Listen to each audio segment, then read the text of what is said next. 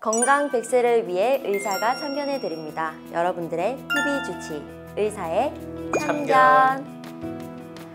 네, 안녕하세요. 진행자 정은경입니다. 오늘도 여러분들의 건강을 참견해 주실 프로 참견러 응급의학과 전문의 신우성 선생님 모셨습니다. 어서 오세요. 안녕하십니까 응급의학과 의사 신우성입니다. 네, 이제 어느덧 무더위가 한풀 꺾이고 제법 기분 좋은 선선한 바람이 불어오는데요. 이맘때가 되면은 등산, 캠핑 등 나들이 가시는 분들이 많아지시죠. 이런 야외 활동할 때 주의해야 할 사항 오늘 알려주신다고 하는데요. 오늘의 사연 먼저 듣고 시작하도록 하겠습니다. 안녕하세요. 저는 등산이 취미인 50대 여자입니다. 평소 전국에 유명하다는 산을 다 가볼 만큼 등산에 진심인 편이었는데요. 그날도 등산화, 배낭, 스틱 등 장비도 꼼꼼히 챙겨서 등산에 나섰습니다. 그런데 무사히 정상을 찍고 하산하던 도중 나뭇잎을 밟고 쓰러지면서 발목이 꺾이는 부상을 당했습니다. 하필 전날 비가 와 지면이 미끄러운 탓이 컸던 것 같아요. 저는 너무 당황스럽고 아파서 어쩔 줄 모르고 있었는데 다행히 지나가던 등산객이 나뭇가지로 발목을 고정해 주셨고 무사히 응급실에 도착할 수가 있었습니다. 검사해 보니 발목 골절로 확인되어 수술하고 현재 재활 중이고요. 가을철 산행이 많아지는 요즘 많은 분들이 산에 오르실 텐데 저처럼 이렇게 불의의 사고를 당했을 때 스스로 어떻게 대처해야 하는지 알면 좋을 것 같아요. 의사의 참견 선생님이 알려주세요 라고 사연을 보내주셨습니다. 어, 사연을 보니까 산에 오르셨다가 하산하던 중에 발목 골절 사고를 당하셨는데 그래도 응급처치가 잘 된 것 같아요. 네, 응급조치가 잘 된 것 같습니다 현장에서 그 발목 골절이나 발목 염자 같은 경우에는 2차 손상을 안 입게 하는 게 제일 중요하거든요. 그래서 그 최대한 안 움직이게 하는 게 제일 좋고 그 최대한 안 움직이게 하는 것들이 이제 그 부목을 댄다든지 아니면 뭔가 고정을 해가지고 그 손상된 부분이 2차적으로 손상을 입는 걸 막는 게 일단 제일 중요하거든요. 그래서 그런 그 나뭇가지 같은 것으로 부목을 대신하는 과정은 아주 적절한 응급 조치를 하신 것 같습니다. 어, 이렇게 아마 도움을 주신 분께서 응급처치에 대해서 잘 알고 계셨던 것 같습니다.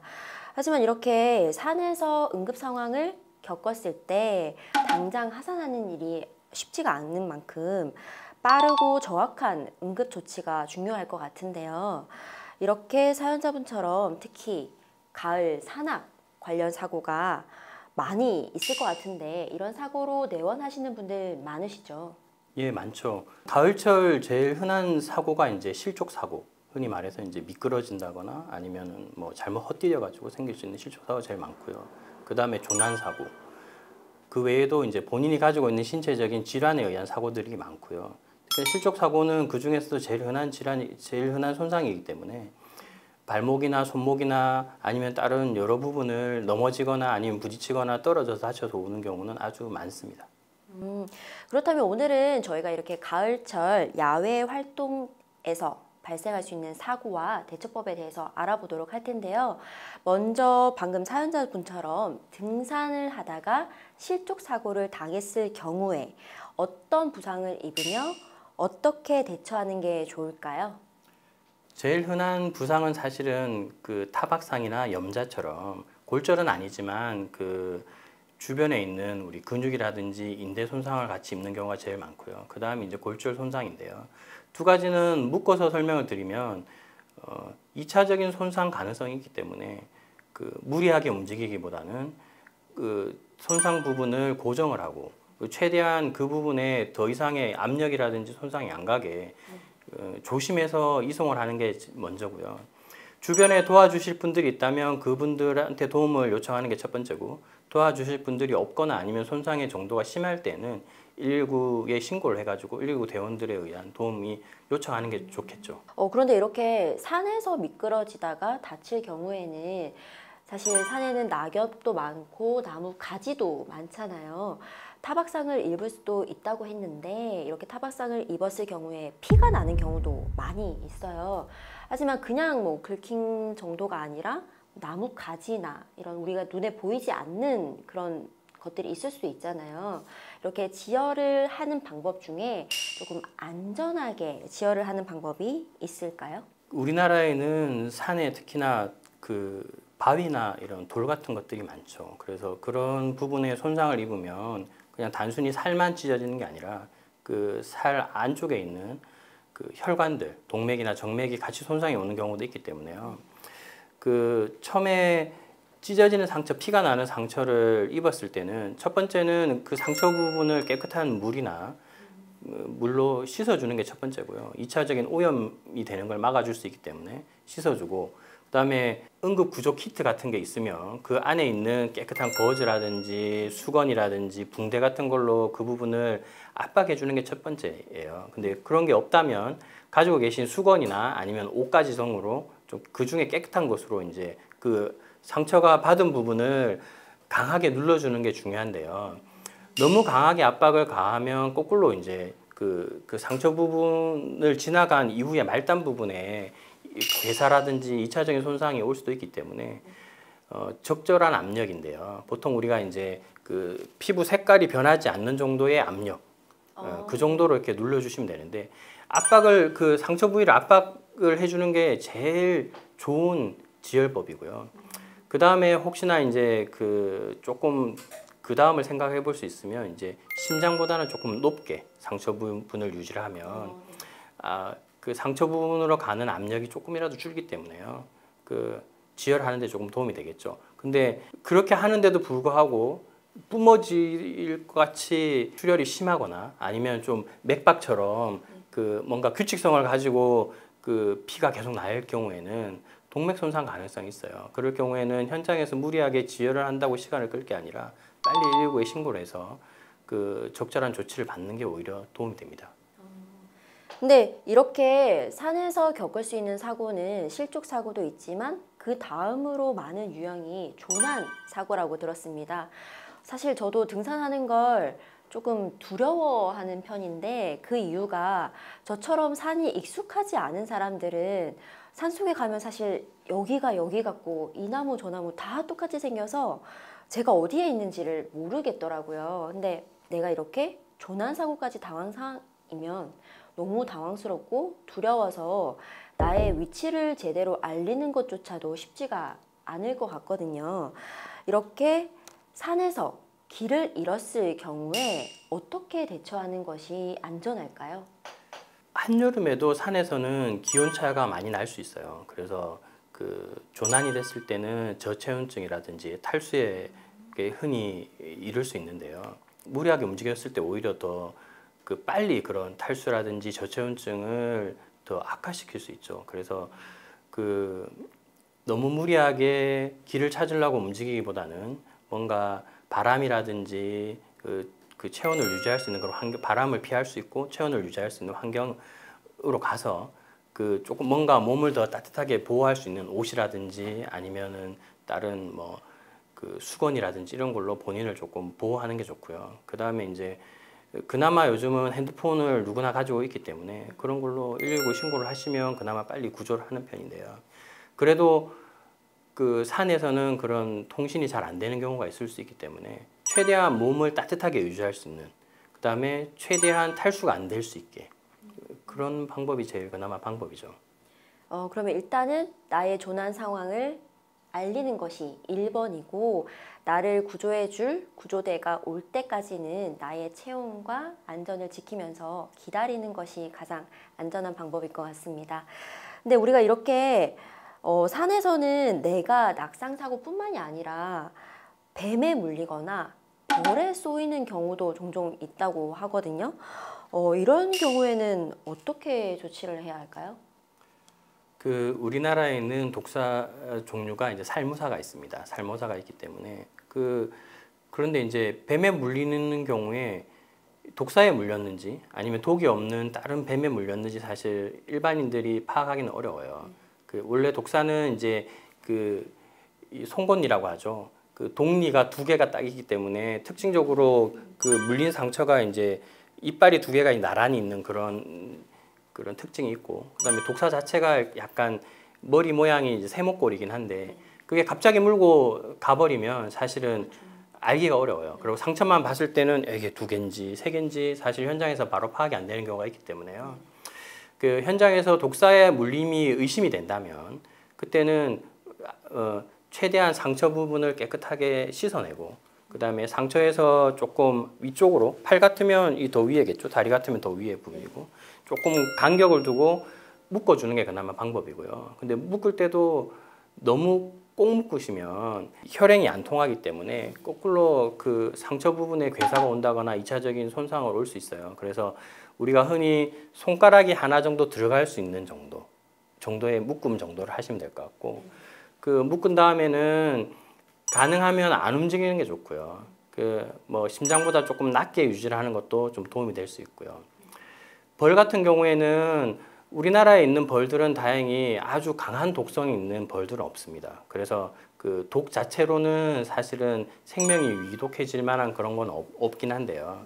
문제는 어, 꿀벌이든 말벌이든 그 벌에 쏘였을 때 알레르기 반응으로 아나필락시스 쇼크가 오는 경우가 있어요. 흔하지는 않지만 그 경우는 생명이 위독해질 수 있습니다. 그래서 벌에 쏘였을 때 갑자기 숨이 답답하다거나 전신 발적이 심해지고 뭔가 그 식은땀이 난다거나 의식이 변하고 온다면 빨리 병원을 오셔가지고 적절한 조치를 취하지 않으면 벌에 쏘여서도 돌아가실 수는 있습니다.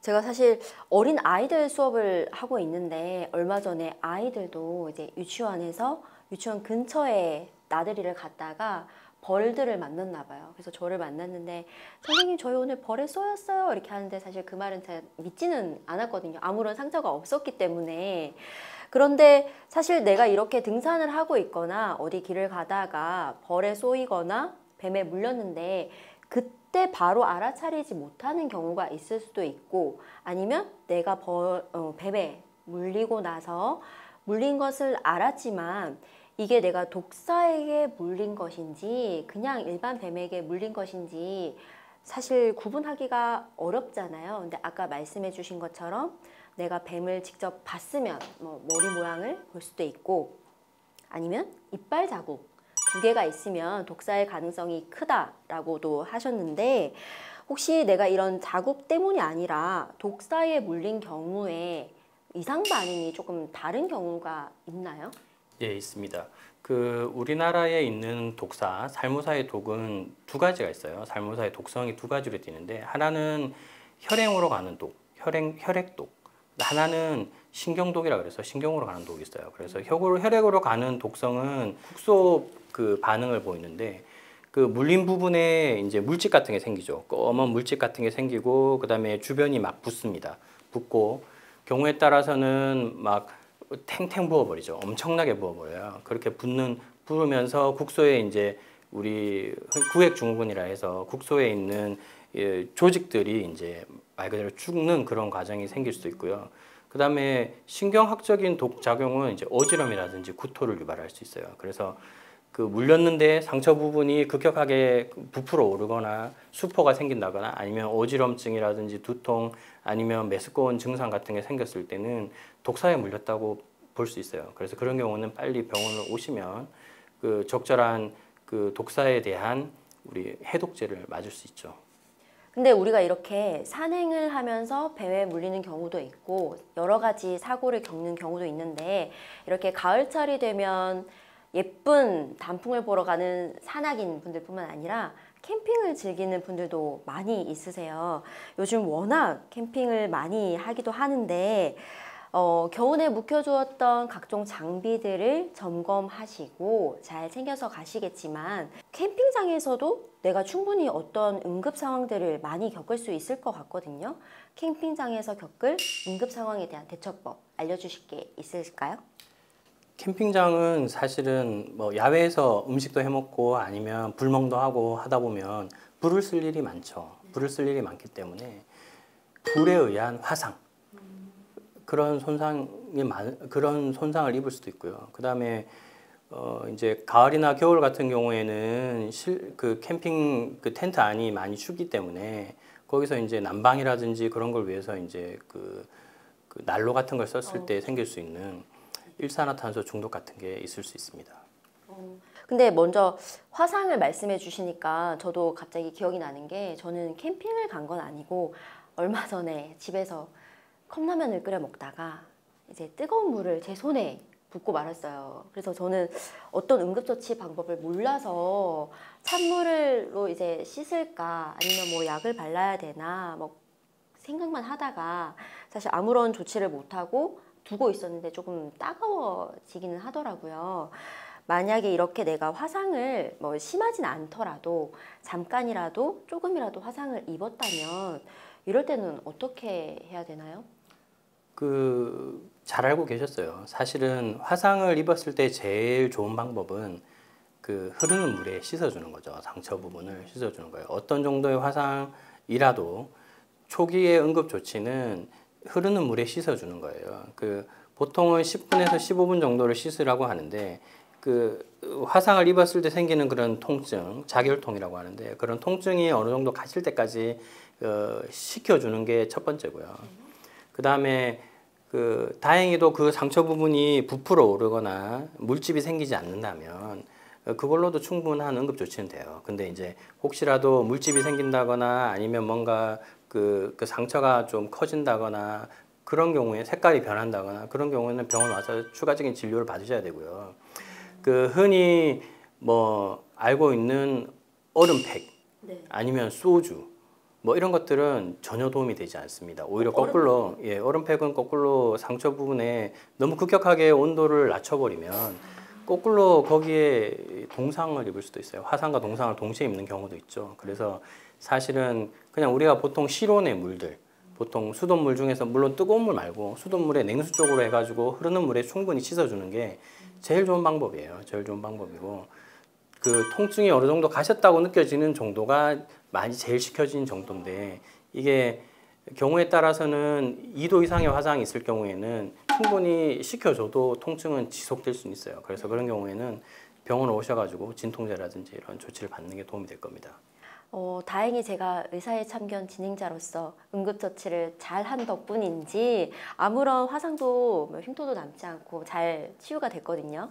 근데 저는 이렇게 즉석 요리 조리죠. 컵라면 이렇게 바로 요리를 해서 먹을 수 있는 음식을 만들다가 화상을 입었는데 캠핑을 가서 이렇게 라면을 끓여 먹는 경우도 많지만 어떤 음식들을 싸서 가시는 경우도 많이 있으세요. 도시락에 챙겨가거나 뭐 보온 보냉을 철저히 한다고 해도 그리고 이제는 좀 무더위가 가서 가을에 바람이 선선하다고 하지만 장시간 보관을 할 경우 우리가 걱정되는 것이 식- 식중독이거든요.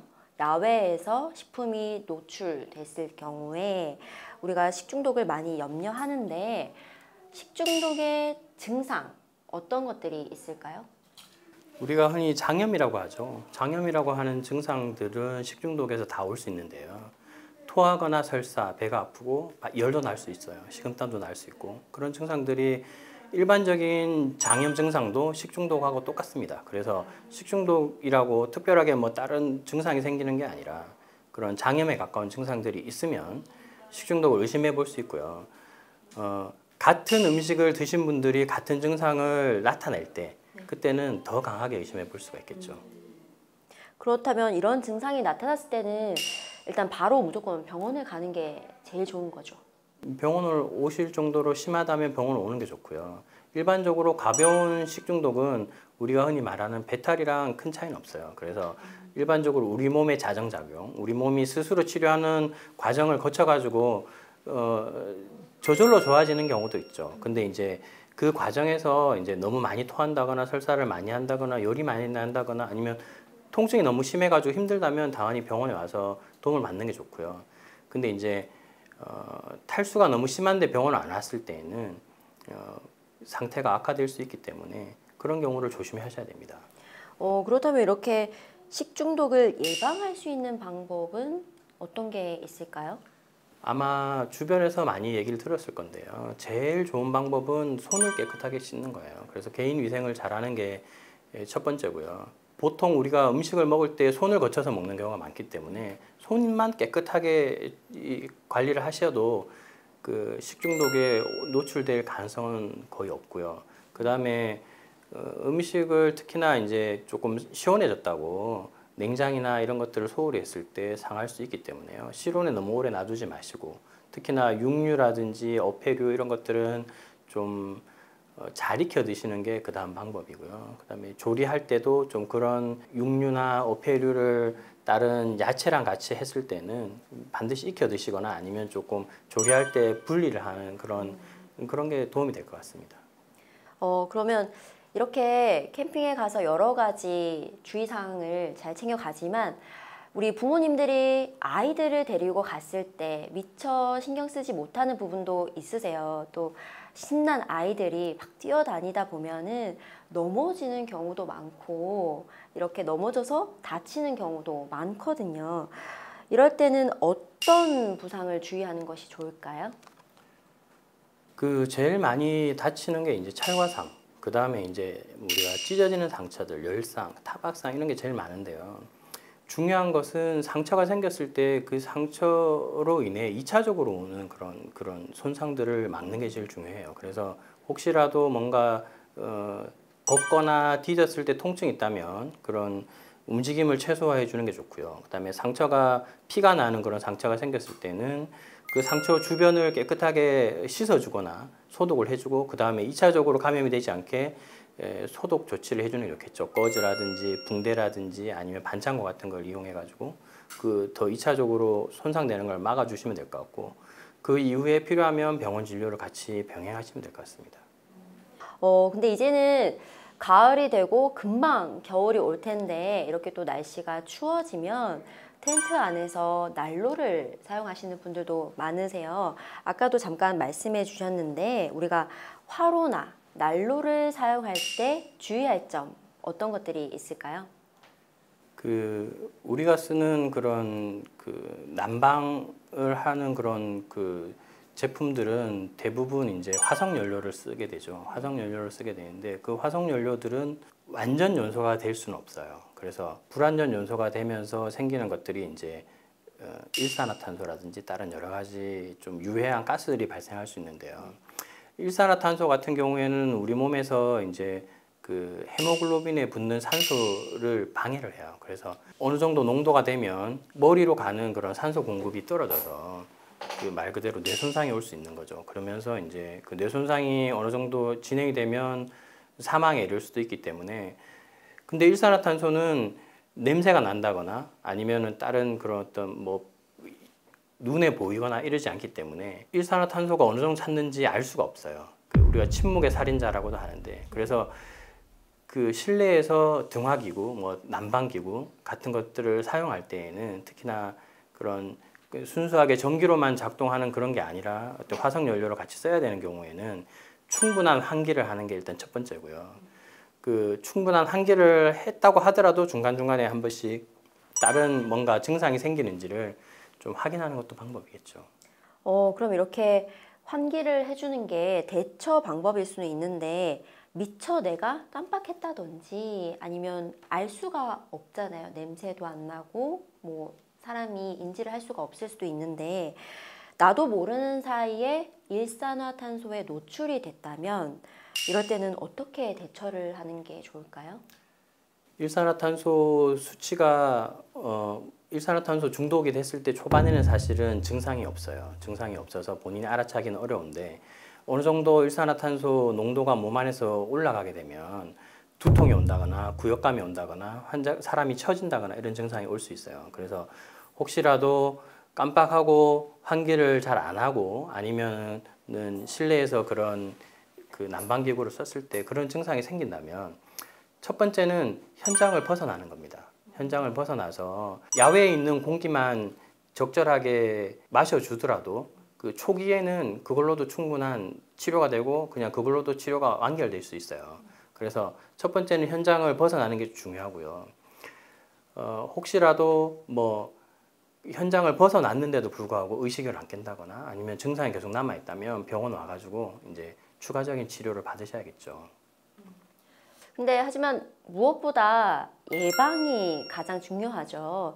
우리가 이렇게 야외 활동으로 인한 각종 안전사고를 미리 예방하기 위해서 어떤 것들을 체크하면 좋을까요? 일단은 제일 중요한 것은 무리해 가지고 뭔가를 하는 하는 게 제일 자제를 해야 되는 거고요. 그 본인이 할 수 있는 범위 내에서 그 계획을 잡고 뭔가를 시행하는 게 제일 좋을 것 같고요. 무리해서 하지 마시고 특히나 실내에서 난방기구를 쓰실 때는 충분한 환기를 하시거나 그런 일산화탄소 중독이 올 수 있다는 그런 거에 대한 대비를 하셔야 될 것 같고 그다음에 야외 활동을 하실 때 요즘은 마트를 가시더라도 응- 응급의료 키트라고 해가지고 여러 가지 야외에서 쓸 수 있는 것들 붕대, 꺼즈, 가위 뭐 이런 것들을 아니면 밴드 같은 것들을 소독제 같은 것도 마찬가지고 한꺼번에 이렇게 포장돼 있는 그런 것 제품들이 많습니다. 그래서 혹시라도 야외 활동을 하게 되면 어, 배낭이라든지 차량에 그런 것들을 구비해 가신다면 음, 야외 활동에서 혹시나 다치더라도 어, 대비가 어느 정도 되지 않을까 생각이 드네요. 이렇게 야외 활동할 때 꼭 챙기면 좋은 비상약까지도 알려주셨는데요. 사실 이런 비상약들은 사용하는 법이 그렇게 어렵지가 않죠. 네, 그냥 바로 뭐 사용을 할 수 있는 거고 바를 수 있는 약들이기 때문에 꼭 챙겼으면 하는데 혹시나 이 중에서도 막 나는 너무 이렇게 다 크게 챙겨 다니기가 거추장스럽다 하시는 분들을 위해서 야외 활동을 갈 때 꼭 이것만은 꼭 챙기셨으면 하는 비상약 품목이 몇 개 있을까요? 다른 게 다 싫다 하시면 뭐 어차피 등산 가시고 야외 활동 하실 때 생수는 다 챙겨 가시잖아요. 그 생수 하나만 있더라도 상처를 깨끗하게 씻거나 아니면은 생수병으로 상처 부분을 고정할 수도 있기 때문에 생수 하나 생수병 하나만 있어도 도움이 될 것 같고요. 한 가지 꼭 덧붙이자면 뭐 깨끗한 수건이라든지 꺼즈 같은 걸 같이 가져갈 수 있으면 그 상처가 2차적으로 감염되거나 하는 거에 도움이 될 수 있을 것 같습니다. 어, 나와 내 가족을 위한 안전이기 때문에 귀찮으시더라도 비상약 꼭 챙기시는 게 좋을 것 같습니다. 끝으로 참견해 주실 말씀 있으실까요? 야외 활동해서 안 다칠 수 있으면 그게 제일 좋은 거겠죠. 근데 이제 다칠 수도 있다는 거를 생각하시고 무리하게 뭔가 계획을 잡거나 아니면 뭐 무리하게 어떤 활동을 하시지는 마시고요. 최소한의 안전 조치 정도는 숙지를 하시고 가는 게 제일 좋을 것 같고요. 그래서 가져갈 수 있으면 안전을 할수 있는 그런 장비구 특히나 그런 것들을 준비를 해서 다치고 난 후에 회복하는 데까지는 시간이 오래 걸립니다. 다치기 전에 예방하는 것도 아주 좋은 치료법이기 때문에요. 제일 좋은 치료법이죠. 그래서 예방할 수 있으면 예방하는 것이 좋겠다. 그런 말씀드리고 싶습니다. 네, 오늘은 가을철 산행과 캠핑 등 야외 활동 시 우리가 겪을 수 있는 안전 사고와 그 대처법에 대해서 알아봤습니다. 오늘도 귀한 말씀 전해주신 응급의학과 전문의 신우상 선생님 감사드립니다. 가을의 낭만이 악몽이 되지 않도록 우리 안전수칙 잘 지키고 말씀해주신 비상약도 잘 지켜서 즐겁고 행복한 가을을 보내시기를 바랍니다. 저희 의사의 참견은요 다음 시간에도 유익한 정보를 조목조목 참견해 드리도록 하겠습니다. 우리는 다음 시간에 다시 만나요. 의사의 참견.